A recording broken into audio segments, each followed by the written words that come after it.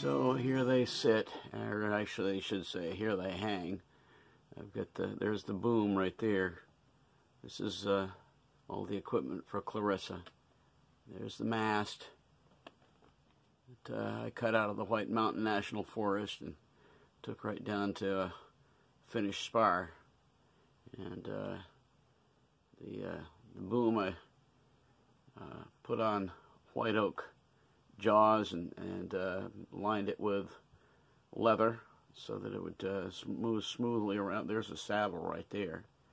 Anyway, all the pieces to Clarissa are in great, great condition. They're just, uh, and here they all, they're literally hanging in the rafters here down in the basement. Uh, they're in great shape. I mean, the beauty of it is, if I ever fix the hull, uh, Clarissa's going to have uh, some really nice components to put back aboard and and get sailing. So um, I'm going to do an update on this later out in the uh, out in the chicken coop. I've gone ahead and gotten all the uh, all the other parts to her out of the shed where Clarissa is sitting. Um, but uh, what's out there now is the the seat, uh, dagger board, um, uh, the actually the floor uh, and uh, and the rudder are all out in the all out in the chicken coop, and they're in good condition. They're going to have to be refurbished, probably repainted, uh, but they're they're in really great condition. Uh, the one fallback, or the one thing that is not good, as I said, is the um, the hull itself, and uh, it's going to be a lot of work. So we're going to work on it. Anyway. Um, the old girl deserves to come back, and I'm thinking about uh, how I'm best going to do that. Okay, so here's the chicken coop. It was uh, my grandfather's, and it was down in Chester, Vermont. I disassembled it, brought it all up here, and rebuilt it. Okay, that aside, that's not the point. Uh, tree came down during the heavy windstorm and and uh, is blocking the door to the chicken coop. Actually, it's blocking the whole bridge going over to it, but uh, this is where I've got all of the parts for uh, Clarissa stored.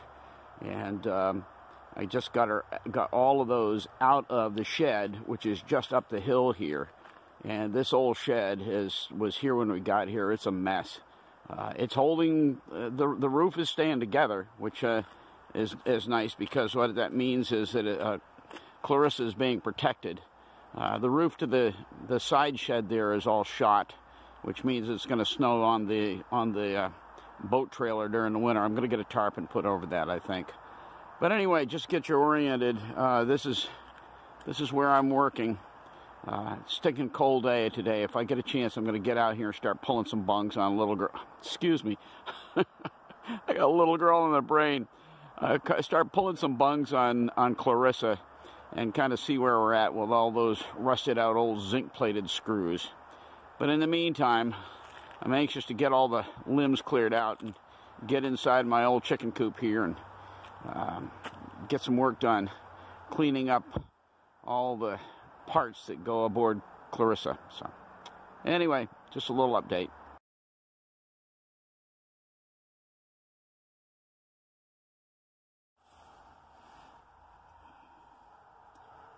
I've just been working on a few of these, few of these screws. You can see I've kind of cleaned out the slots.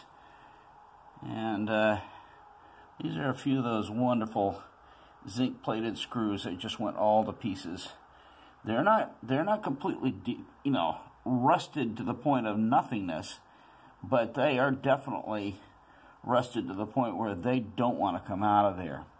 Uh, so far, all I've done is take a big screwdriver to them and try to hand do them um, I don't know. I'm going to try to get back out here on a day off. I'm kind of cramming this moment in, in between other things. I've got to go finish studying for tonight for a Bible class. But uh, anyway, but you can see what we're dealing with here. Um, the heads are actually pretty well formed still, and I think I've only stripped one of these. I'm not sure which one it was, but anyway, um, it's going to be a lot of work. All right, that's it for now. Uh, we're going to come back to this at another time when I've got more time. Well, it's filthy from being left out in the shed all this time, but this is the deck. The floor, as I called it earlier. This is the to Clarissa. Here's the here's the seat, and it only has one seat in the very stern. And uh, then here's the dagger board, and it always worked fantastic. I mean, what a what a nice little dagger board. This thing just it was just enough depth and, and uh, fore and aft that it uh, really gave really good resistance through the water, uh, and the rudder. I designed all this stuff, and uh, with a really nice white oak uh, tiller on it. Anyway, all this stuff is handmade, and uh, she needs a lot, a lot of TLC. But uh, a cool thing, I, am just, I'm just now uh, exchanged uh, the black bottom paint for red bottom paint uh, for little girl, and I'll be able to just dress these things all out nice and get them nice and crisp. I got some really good Pettit white paint, and I'll use that for the uh, for the top on each of these. And uh, a matter of fact, that Pettit white paint, is, I, I, am going to have to do some more work aboard Little Girl with it, but uh, that'll go very nicely on all of this. So that's it.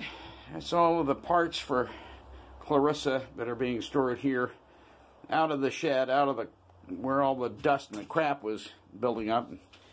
Here's my wonderful kayak that's stored in here for the winter. So this is where I did all the work uh, for the uh, coamings on Little Girl. Every bit of it was done in here during the winter. About oh three three winters ago, two winters ago, and boy, I spent a lot a lot of time in here stripping and sanding and uh, bleach washing th those coamings uh, until I got them uh, nice and dressed out where they are now. Well, we're back out in the shed with Clarissa here. Um, I did some research on YouTube and I realized I was kind of being hasty and foolish about not taking these screws out. Uh, and I did, with the research, found out that if you use uh, something to impact the screw, uh, you literally put the thing in the slot like this. And I'm going to be able to do this uh, let's see if we get that. Yeah, get it into the into the slot, and then you hammer on the back of it. What you're doing is you're breaking loose uh, the way that the screw is sitting in the hole by hammering it, and uh, you do that a number of times, very very firmly, and theoretically, then you go ahead and you uh, are able to back it out. And what I've found is by using my ratchet set I think it's, uh, which one is it here? I think it's this one right here. Anyway, by using the ratchet set, there we go. After that little bumble, I found the right one. And uh, this sits in here perfectly. And just by using your ratchet uh, and putting pressure on the back of it as you're ratcheting, just a, a piece at a time, or just a, a ratchet at a time, you're able to go ahead and, and theoretically, anyway, theoretically back the screw out of there. So, anyway, going to be doing a little bit of that and uh, see how it comes out. It's working. It is working. I can't believe it. I uh, I impacted it with a hammer, and this one's coming out. I don't believe it. Actually, this is the second one I've gotten out. They are one inch screws. That means I can just buy, uh, I think these are 12s, I'm not sure. But anyway, I'll buy about 200. I don't think I'd, I may do a count, I don't know. Uh, and just replace every single one of these screws with stainless steel. I've got two of them out right there. Beautiful, beautiful. I'm uh, I'm gonna I'm gonna start pulling all the screws, and we'll kind of go from there and see uh, see if this is going to be a workable situation. But uh, I'll tell you what, I'm really pleased. Uh, the thing that I love about this is um, I now have some hope for actually being able to do all this work on Clarissa without having to tear all these uh, timbers off. And uh, I'll tell you what, the planking on this was uh, very carefully put on, and I'd hate to go sawing it all off. So, hey, I'll, I'll take this any day of the week. There's two two of the screws have been removed. Those old zinc plated screws, uh, they're not all, not all the pieces, they are rusted up. So uh, we'll just get stainless and replace everything. Some really nice afternoon sunshine going. Shining right on old Clarissa here.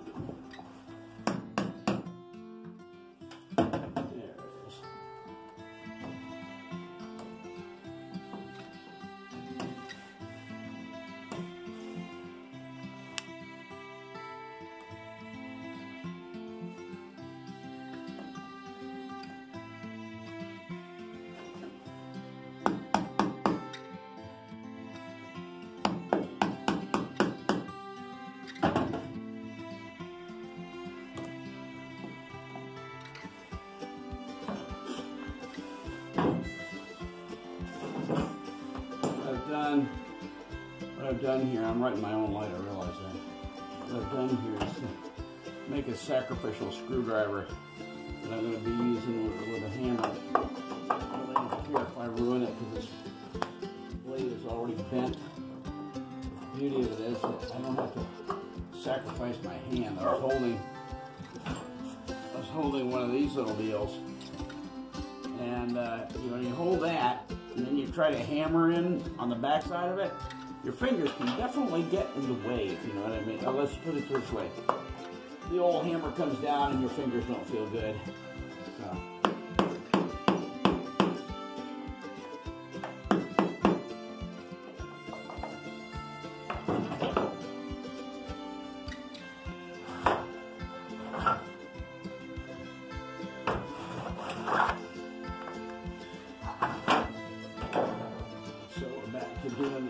A wrench. I think that'll do it for this episode of uh, Clarissa the Reclaiming. Um, uh, you know, we're on the way. Uh, I, I, think that uh, there's some hope. And uh, there's, I've got four of the screws out right now. I've got one that's all stripped, the head is stripped, and I'm going to have to study on how to get that out. But in the meantime, um, there's a lot, a lot, a lot of screws in Clarissa. And uh, I'm going to see about the possibility of getting some stainless and replacing them and uh, rebunging everything and sanding everything. And um, it's going to be a long, long process, especially where I'm restoring Little Girl. And that's the priority. I need to get Little Girl completely done up in the water by next summer.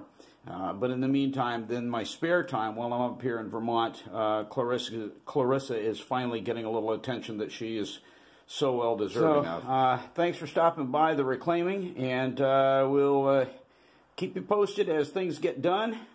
Uh, but uh, you know, hey, um, we're started. We're started.